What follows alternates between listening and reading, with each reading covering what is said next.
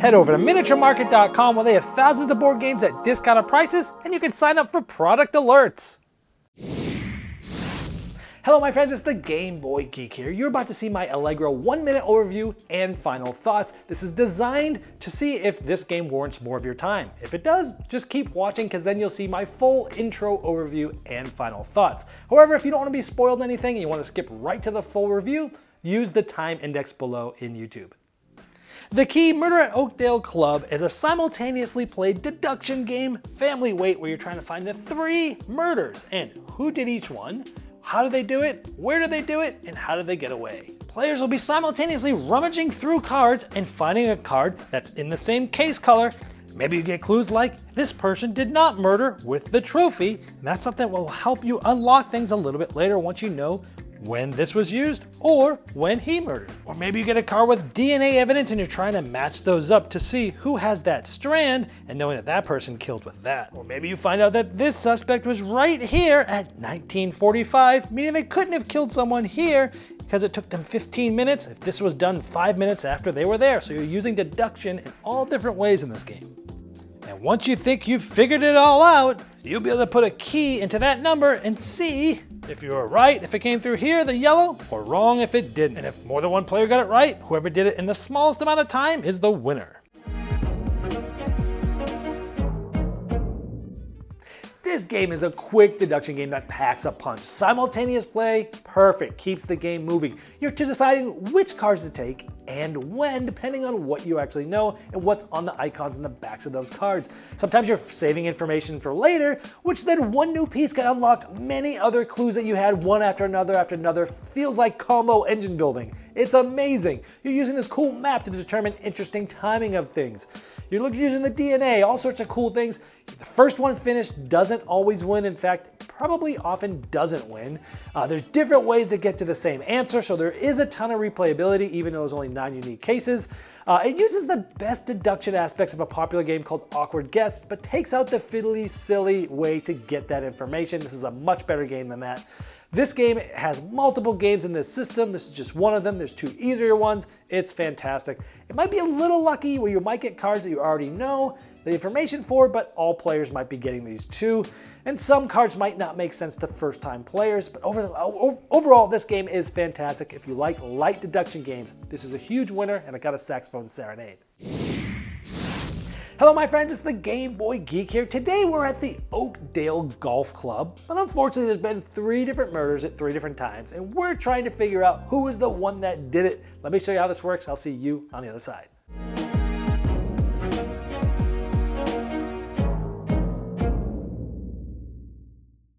The key is a series of family weight deduction games. Now this one is called Murder at the Oakdale Club. It is a medium level.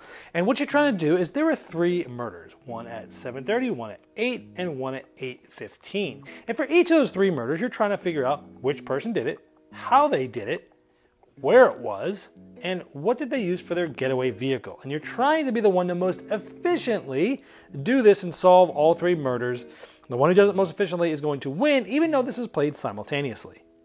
Now, at the beginning of the game, you're going to pick one of these key colors. That's going to be the case for this game. And even though the, there's nine unique cases, each of them are still pretty heavily replayable, actually. We'll talk more about that later. So let's say, for example, we're playing the yellow case. There's plenty of cards on the game, and you dump them on the table just like this. This is how the rules say to do it. And you'll see different colors, and this means that this card uh, is a good piece of evidence for these cases of this color. Yellow is here, that's great. This one actually is not yellow, so we wouldn't even use this one, or you could just skip right past it, things like that. So, and this is going to tell you, okay, this is in my case, this tells you sort of what this is about, like the getaway car and the suspect, and how many points or sort of time it takes. Some of these are witness statements. They're either two points or four points. This is sort of like lab information. Now, you want to be able to do it with the least amount of points possible, so you're trying to get to the answer and get it correct using the least amount of information. Not necessarily cards, but again, this one cost me two points, this one cost me four. Whoever does it correctly and does it in the shortest amount of time is, uh, you know, by points value is going to be the winner. But it is real time. I might take this, I might look at it and do something, I might take another one, I might be looking around. All players are doing this simultaneously. So let's take a look at this card. Now, this one says this murder suspect did not flee with the green the, green golf cart. Now, that does us no good right now, but later on when we find that, that a certain murder was done at a certain time was a green golf cart, or maybe a murder at a certain time was done with, you know, this suspect, we could say, well, it's not this golf cart or so on and so forth. So this will give us some information that we might be able to unlock a little bit later. Now let's say next we look at this card here. It's in the yellow case. It has to do with the murder weapon and the suspect. It's a lab. It's worth four, it takes us four time essentially to do this. And this gives us some DNA information. So everyone gets a guide. Each, each player gets one of these. And you're going to look at these and you're going to try to figure out who this is. So uh, you're going to look for this and you're going to see, okay, orange, yellow, green, red, yellow. So you'd go through and you try to see who does that match. You're going to look at those, the, the DNA, and you're trying to figure out, well, where does this match on any of these? And actually it doesn't match to anyone. So I'd flip the card over and go, okay, well, what about this way? Yellow, red, green, yellow, orange. Well, look at this. Yellow, red, green, yellow, orange. This matches the DNA of this. Now, what this tells me is that this perpetrator used this to kill the person. So when I find out that for sure it's him, I know the weapon's that. If I find out the weapon's that, well then I know it's him. And so on and so forth. Now this is all dry erase. So let's say on the second murder I find out it's not poison. Draw right on it. Well, we know that this perpetrator is the one that used poison.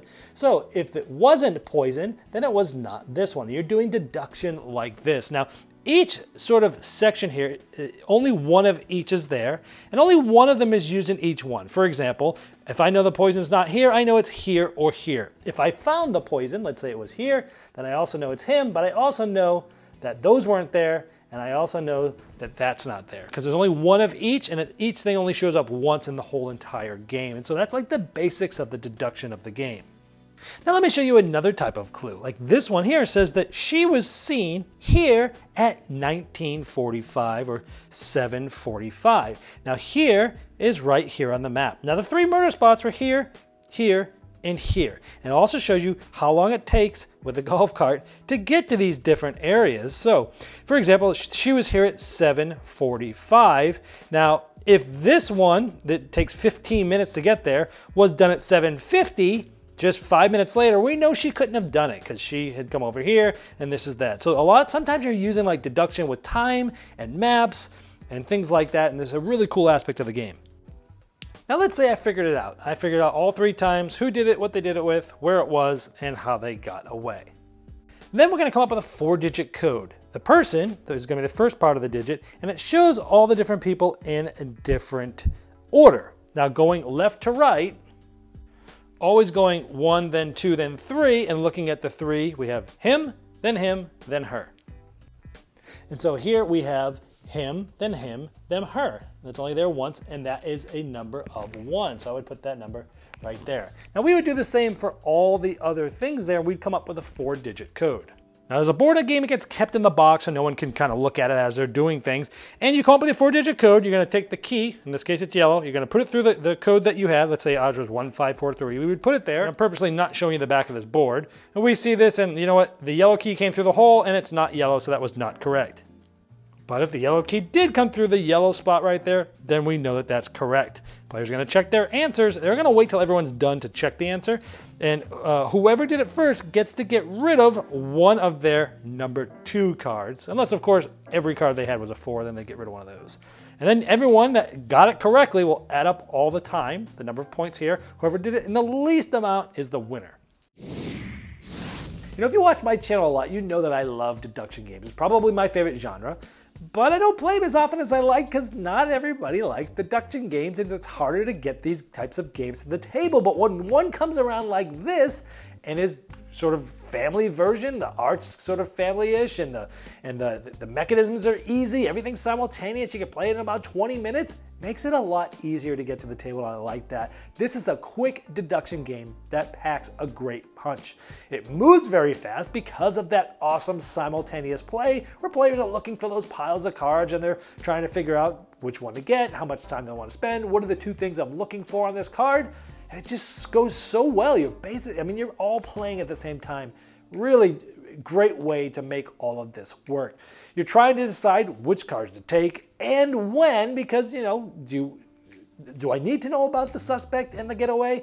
Ooh, I just found the getaway. Okay, I figured out the getaway in this one. I'll take one that has getaway and something else because maybe that will help me link to another piece of information. So it's actually strategy is to like which card you take and when you take them. Sometimes you're saving information for later and you have got all these cards, you're like, I don't have one thing marked up, but I've got five cards of stuff. And like all it takes sometimes is one thing to click that unlocks this, that unlocks this, that unlocks this. You're like, oh, all this information I've been sitting on now has all been linked together because I found the one piece of information to help me get there. I love that. It's almost like a little combo building thing where it's like I did this and it unlocked all these things from the earlier clues. I love the little map. So many different ways they use this in this game, trying to calculate whether someone could have been there in time. Sometimes you're looking at watches and things covering watches and things that are broken. And there's, there's just so many interesting ways that they have come up with figuring out this the, the little the puzzles in this. I like that it's not just a race. At first I read the rules, I'm like, oh, is it really everyone just like grabbing cards and doing stuff? No, because one it doesn't matter who does it first, it can help you, but it doesn't really matter because number one, if you go too fast, you might not get it right. Number two, only if you get it right does it matter how fast, or not even fast, but how efficient you did it. So the first one doesn't always win.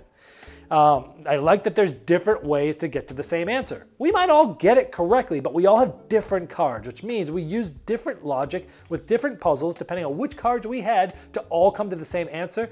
And that's why this game has a lot of replayability. Some people might go, it's a deduction game. Once you know the four digit code for red, you'll never play it again. Wrong. Actually, you will because there's nine cases, and if every if you play each one of them in succession, by the time you come back to that ninth one, you're not going to remember the four-digit code. Even if you do have a photographic memory and you remember that four-digit code, it's not like you can just start the game and write it. You actually, after you play the game and you're playing a case for the, the second time along, you need to actually go through your cards and prove that this is the answer. This is how I got here. If someone feels like you just wrote the answer down. It's against the spirit of the game anyways.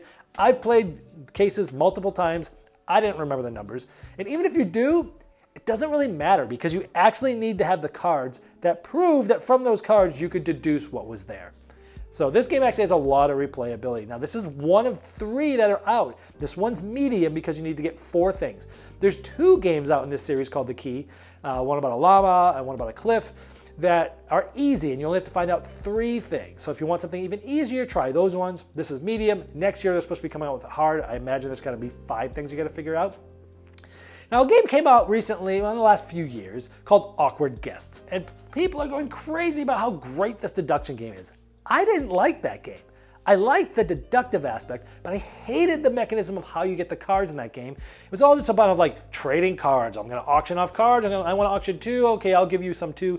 You end up getting back the same cards you've already seen. You end up, it's just, that mechanism was so lame compared to the rest of the game that I got rid of the game. I liked the deductive aspect, but I didn't like the way that you got information. This uses the best part of Awkward Guests, which was the way that the deduction works is very different. I'm looking at DNA, I'm looking at a map, I'm looking, could they have been here? I'm looking all these interesting ways to think of deduction, different, unique ways, and putting them together with a much more streamlined, find a card, look for the ones you're looking for, and just get it. It like cut to the chase of what Awkward Guest was trying to be.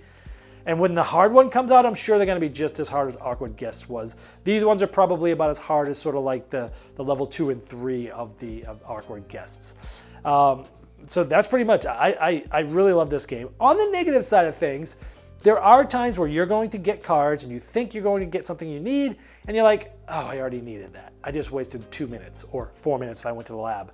So sometimes you're just gonna, some luck. I mean, it's, it's a family weight game. It's not all strategy. There is some luck there. You might be a little bit unlucky and get a couple of cards that you already knew the answers to, but chances are other players are going to get that too. So in the end, I think it's not that big of a deal. Also, some of the cards might not quite make sense to a new player first time. Like you might get a card that has a watch on it and maybe like a blood smear on the watch. And it's not graphic or gruesome, it's just like it's just like red over it. And you might not know what that even means. And once you understand what it means, like, oh, I get it. But you can't just ask somebody in the middle of the game that's playing because now they know the answer to that, right? So that's a negative too. But overall, this is just amazing. In fact, this system is so cool it was designed by the same person who came up with The Crew, one of the most popular games in the last couple years, the trick-taking game. Uh, Mr. Sing, I mean, just it's amazing what this guy's done. He's created an amazing system with The Crew, and now The Crew Mission Deep Sea, second version of that that came out this year. It's amazing. And he comes out with this. This guy's a designer to be watching because he is a rising star. Because of all these reasons, it is staying on my gaming library, which means it's getting a saxophone serenade, my highest honor. This has been a Game Boy Geek, breaking down barriers, growing relationships through board games, and helping you find the next one you'll love. Hit it.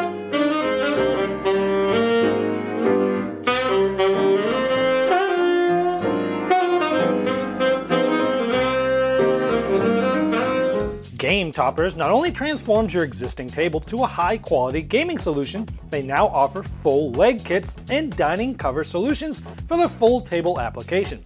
Paired with their amazing thematic premium stitch edge mats from noted board game artists like Vincent Dutrait, collapsible cup holders, and really cool accessories, it's a complete system that upgrades every game you play.